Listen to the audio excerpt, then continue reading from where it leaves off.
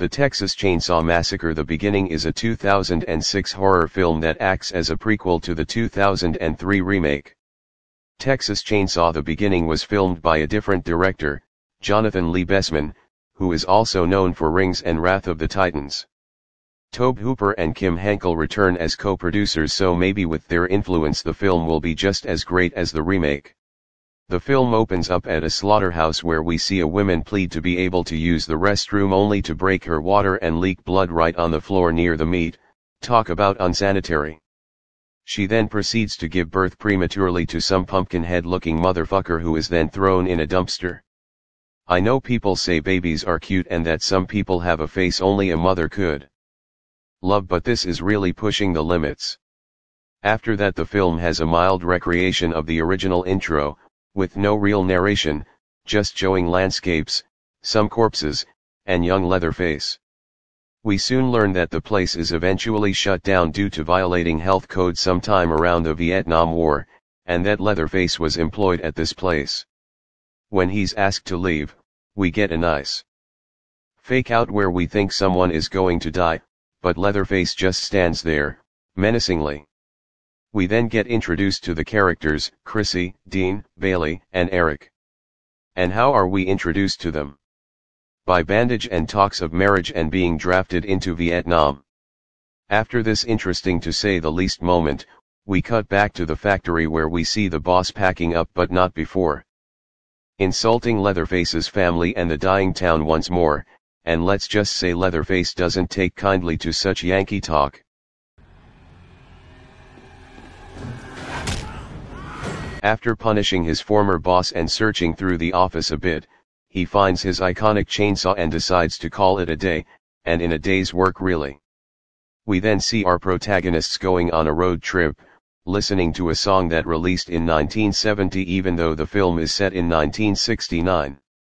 After this driving scene an officer arrives at the Hewitt residence, and informs them that their nephew made an hoaxy by killing his boss, so he gets one of the family, who is played by R. Lee Ermey by the way, to help apprehend O.L. Headcheese.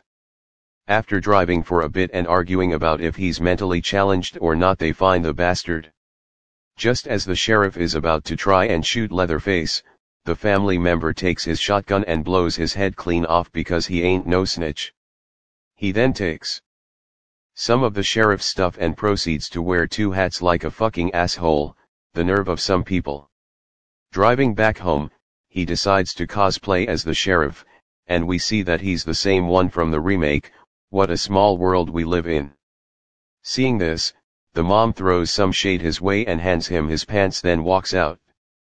At the dinner table, the newly quote-unquote appointed sheriff discusses how the town is dying, the factory meant a lot to the town and how they'll protect the town from those goddamned bikers and hippies. He then ends his Oscar-worthy speech by noting their actions will speak louder than their words.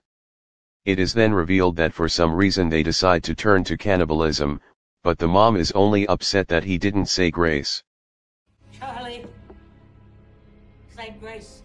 And, being real for a second, I honestly thought the mom was supposed to be the wife at first. Well, I suppose it is Texas and Texas is close to Alabama. We then see the new Sheriff start his first day of work and the group heading to a gas station, wonder how important the station will be in this movie. After some Vietnam drama, we get a biker jump scare, nothing is scarier than a group of bearded men, after this they're on their merry way, and when Dean tries to burn his draft order right in the car with his unknowing brother like a dumbass, the truth finally comes out. They then argue but it looks like they have bigger trouble a biker who's trying to play GTA in real life. Before Eric can shoot the attacker, they crash into and kill a poor innocent cow, if any more cows die I don't know if I'll be able to take it.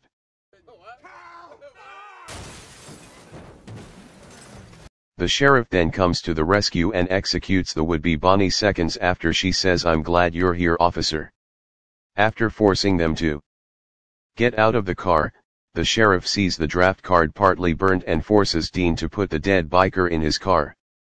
After driving off, Chrissy, who was thrown out of the car during the wreck, finally crawls out of grass, safe from any Pokemon. Searching through the wreckage, Chrissy hides after spotting a tow truck driver who appears to be the perverted cripple from the remake.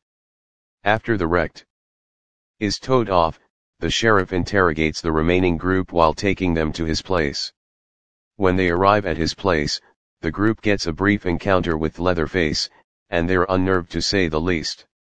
After this, they're hung up by the arms in the garage, as if they were fresh meat in storage. After giving the filthy livestock a half-assed bath, what a gentleman, the hung-up group see. The tow truck driver, who plainly refuses to help as he doesn't get involved in the sheriff's affairs. The sheriff comes back to the shed and almost kills Eric with Saran wrap via suffocation, but Dean steps in by revealing the truth. While Dean is lying face down on the ground, the sheriff hints at why he eats people, that he was a prisoner of war in the Korean War.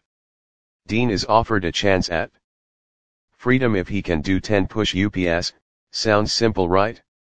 Well even though he did complete the challenge, the asshole passes out making it all mood. Chrissy meanwhile had been running off for help and finally finds a biker, who only helps her because they had killed his friend.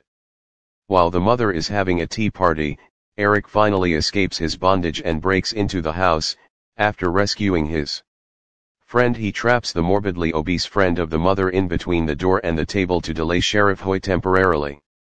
After making an admirable attempt to escape, Bailey is assaulted by Leatherface who uses a hook to pull her out of the moving truck. Eric attempts to distract the sheriff while Dean escapes, but Dean, being the family disappointment, gets trapped in a bear trap that for some reason was just lying around. Following a brief exchange, Leatherface takes Eric down to his dungeon where he shows him the defining line between pain and pleasure, a demon to some and an angel to others. Leatherface starts by cutting off his shirt and feeling his face, wait a second am I watching a Texas Chainsaw movie or am I watching fucking Jason Goes to Hell? Meanwhile, Chrissy sneaks into the house and is almost caught. Repeatedly and the biker she was with shows us how the amputee dude in the first movie lost his legs, by being shot, kind of making a mountain out of a molehill aren't we? Anywho the biker drags the sheriff upstairs and the sheriff calls for Leatherface, which gives Chrissy an opportunity to meet up with Eric. While this is going on, Leatherface catches up with the biker and kills him after the sheriff manipulates him by telling him he was one of the people who used to bully him in school. Chrissy tries to rescue Eric but is helpless as Eric killed by a chainsaw and his face effortlessly skinned. And can I just say that Leatherface has never been more terrifying, at least to look at, than in this movie. Now Leatherface is upstairs and he and Hoyt cut off the soon-to-be amputee's legs. Mind you this is over a gunshot wound that wouldn't even call for amputation. This, of course, horrifies that mom and Monty the amputee. Chrissy tries to rescue Bailey but is caught within seconds. During a tense dinner scene, we see Bailey has lost several of her teeth and Chrissy call the Hewitts degenerates and cousin fuckers. Bailey is then killed by Leatherface by having her throat slit. With the biggest scissors I've ever seen, after being asked by Mama to set her free. As Leatherface tries to take her to the basement. She stabs him in the back and jumps out a window, thus adding property damage to her list that also includes assault, defamation, and breaking and entering. Leatherface gives chase to her through the fields and we see that Dean is surprisingly still alive and gets some pay back on the sheriff instead of running away. Not the smartest choice but it's understandable, regardless, Dean smacking Hoyt's face against the porch shows us how he lost his two front teeth. Chrissy makes her way into the factory where Leatherface worked and we see that it's been completely untouched and the body is still there, not even beginning to decompose. Afterwards, Leatherface gives chase in the factory and we see Chrissy hiding in a tub of blood that likely is rotting and full of maggots and mosquitoes, mmm delicious. Dean admirably joins in the fight and distracts Head Cheese just as he's about to kill Chrissy but sadly dies himself. Chrissy gets away in a car and just as we think she's gonna be the final girl, Leatherface reveals himself in the car and kills her. Crashing the vehicle into a police officer and a dude being given a ticket, instantly killing them both and giving us a fucking Wilhelm scream of all things. After this, Leatherface gets out of the car and we get an ending monologue detailing that from 1969 to 1973 the Hewitt family killed 33 people in Texas, and with that we get a gorgeous shot of him walking down the highway alone, chainsaw in hand. The Texas Chainsaw Massacre, the beginning is not a movie that uses the vegan message like the original, however it does utilize the idea of working people being put out of work and being forced I guess into cannibalism. It also delves into the Vietnam War and draft dodging which is neat and thankfully the movie isn't heavy-handed about this. In terms of how it would compare to the remake in terms of gore and a focus on trauma from the Hewitts. The beginning is definitely more twisted and violent despite not leaning into the PTSD side of things.